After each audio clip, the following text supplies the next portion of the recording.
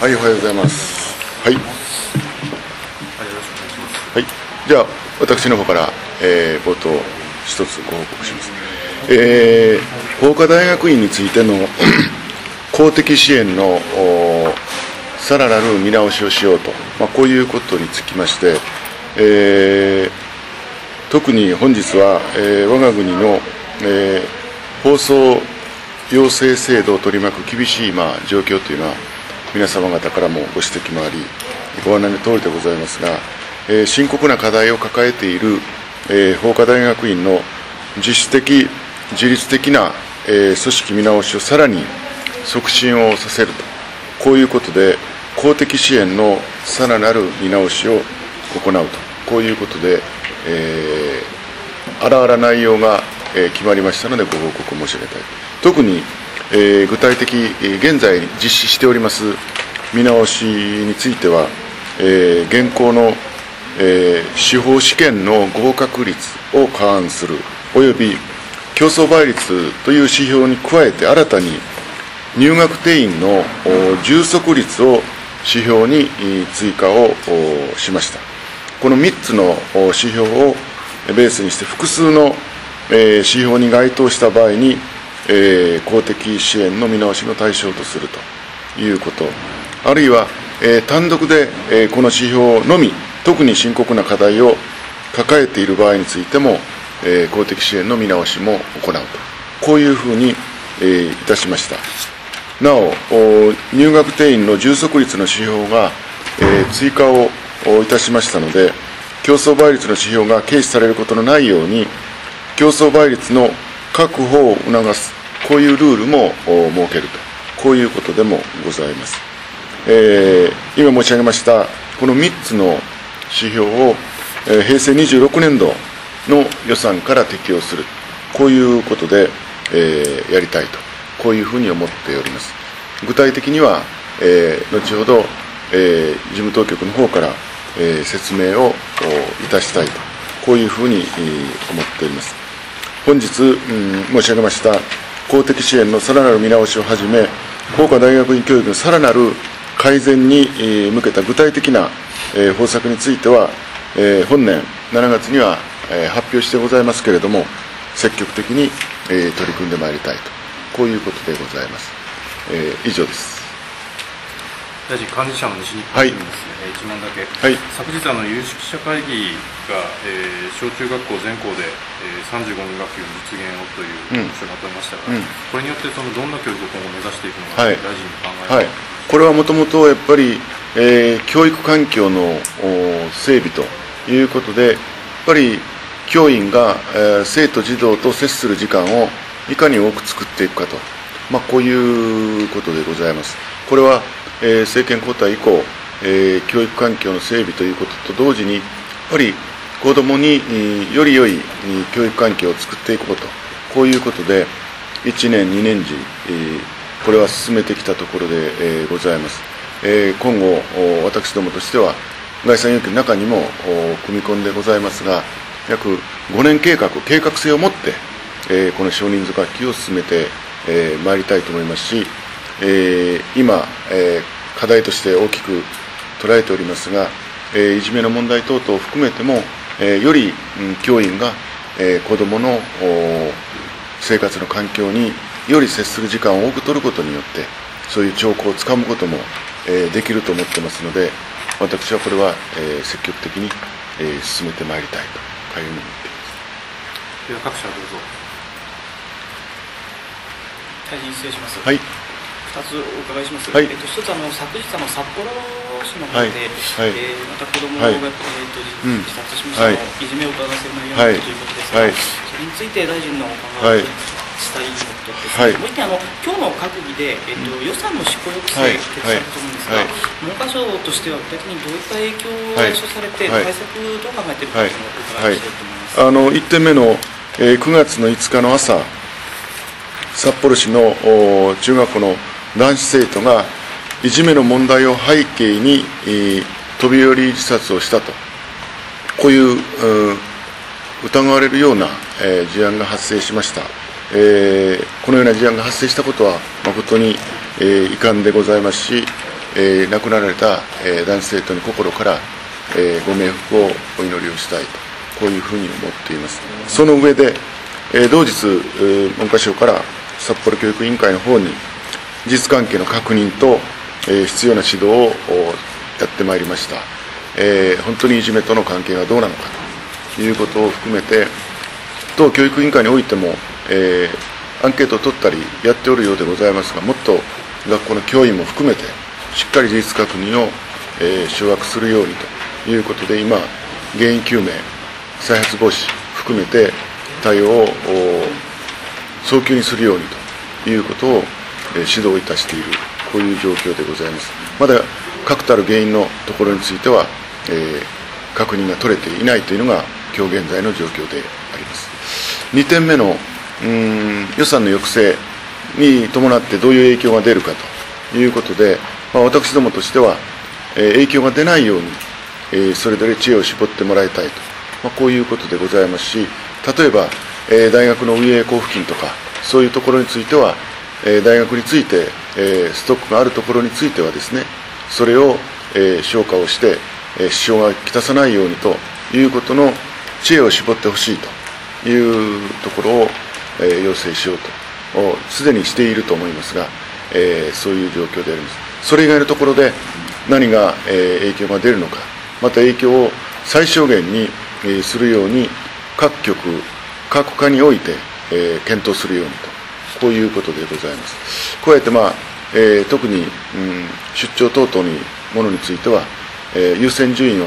しっかり見極めて、今行かなきゃならないものなのかどうか、このことをしっかり検討するようにと、こういうことを申し上げております。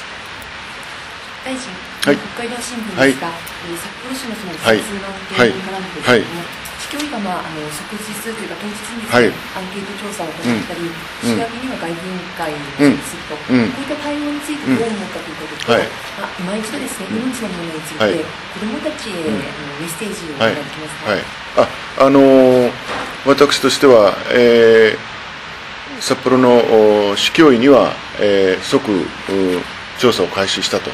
いうふうに伺っておりますので、えーそれはそれとして早くやってもらいたいということと同時に、えー生徒の方にはあやっておるようですが、教員にもしっかり、うん、事情聴取をするようにというところをあえて、えー申し上げてまいりました、えーこのようなことがやっぱり起こるということを私改めて国民の皆さんに、えー申し上げたいのでありますが、あの命というものの大切さを本当に分かってもらいたいということで、えーございます。昨日も その件を含めて、えー大学の教員養成課程並びに、えー専門大学院であります教員大学院の改革についてもこのいじめの問題についての教員養成の中にこのことをしっかり、えー養成課程の中で組み込むように、えー原原曲に指示をいたしたところでございますし、まあ、中教審の中でのそういう分部会がございますからそこでもこの問題については取り上げてもらいたいということで、えーあらゆるところにこの命の大切さということをしっかりと、えー理解をいただける環境を作るようにとこういうふうに指示をいたしているところであります。日経新聞のはい。法科大学院の、えーはい。支援の見直しなんですけれども、はい。はいまあ、この補助金に関してはかなり厳しくするということですが、はい。一方でその、もっとその、より良い取り組みをですね促すような形で支援するようなうん。方策というのは、教育の中にですね、うん。ははい。これはですね、あの東電これ、文科省のお大学院の問題と、もう一つはですね、これ、法務省との関わりもございますので、えー司法制度改革も含めて、えー関係部署としっかり連携をすると、本来の、えー趣旨でありますところにより近づけなければならないと、こういうふうに、えー思っております。あのどれだけのえー部分になるかという厳しい環境であるということを、えー先ほど申し上げました公的支援の、え見直しということを言いましたが大学そのものを云々ということよりもよりそういう現実にさらされてるんだと。いうことをやっぱり大学自身もまた関係者もしっかりそれを認識してもらうことが、えー、大事であろうと思ってましてあらあらこれまた具体的な、えー、ところについては、えー、ご報告申し上げると思いますがこの指標をはめてまいりますと大体20校から24、5校になるのかなというふうに私は大体、えー、予想はいたします。具体的には事務方から説明させます。大臣すみません、はい。TBS の動画ですけれども、その法科大学院のところですけれども、自主的な自立、自主的自律的な組織の見直しということで、やはり努力をしないところにはうん。厳しいはい。対応とい。うか、去ってもらうというようなことも含めてとい。うことで、お考えでよろしいですか？結構です、はい、やっぱり自立してもらう、こういうことで、その改善をやっぱり促すというのが一番の趣旨ですから、そういう視点で理解をいただければ結構かと思います。はい、はい、はい、あの民主党がその原発政策なんですけど、はい、まあ、2030年代に原発ゼロを目指すというまあ提案をまとめました、まあ、このことへの受け止めと、はい、まあ、その、まあ、高速増殖路への影響、うん。その2点をお願いします。はい、あの今、これ、党の提言として、今、ご指摘のあった方向性を、えー提言をされるようだというふうに聞いております。えー政府の方に具体的に提案あったのかな、今日今日かなぐらいで、そういうふうにまとめられたということについては承知を、えーいたしております。えー従いまして、私はやっぱり、えー野田内閣においても、おー原発をいいかに少なくできるのか、こういうところについての課題整理も、えーエネカン会議等々でやっておるようでございますし、えーより国民の皆さんが安心できる社会、その中でいかに、えー安定的に、えーエネルギーをどう供給していくのか、その供給する手段として、えー、代替エネルギーがどういう格好で出来上がっていくのか、このことをしっかり見極めて、そういう方向性を示していくことが大事であろうというふうに思っております。従いまして、10年から進めてきたエネルギー政策についての大きな変更が、えー党の提言として出てくるわけでございますので、それを受けて、えー私ども、えー所管の高速動植路という文字を含めたこのことについてどうなのかということについては、それが政府として示された場合には、我々としても対処しなきゃいけない、こういうことで、えーございます。ただ、私が申し上げたいことは、今日まで、えー文字を含めて、うん取り組んできた研究開発の成果というものもしっかり刈り取らなければ、えーならないと思ってますから、それを刈り取っていく、そういう方向性をどういう成果として刈り取っていくのか、こういうところに、えーかかってくると、えー思うわけであります。従いまして、いずれにしても、えー使用済み燃料の今後の処理の在り方等々の問題、あるいは、えー国際機関との関係を、え含めて、どういう在り方が一番いいのかということは、これから早急に詰めていかなきゃならないことだと、こういうふうには思っております。よろしいでしょうか？どうぞ。はい、どうぞ。すみません、全くちょっと別の話ですけども、はい。週明け10日にあの民主党の代表選挙がはい。行われるんですけれども、はい。はい。今日はあの細野大臣が立候補見送りという話がはい。出てますが、あそうなんですか。であので大臣は今のその、えー、立候補に向けたいろんな動きをどのように見られているかというのと、まあ、大臣ご自身のその代表選挙の支持といいますか、今のところどのようにお考えかかりますか。まあ、これだけ大変厳しい、えー環境でございますし、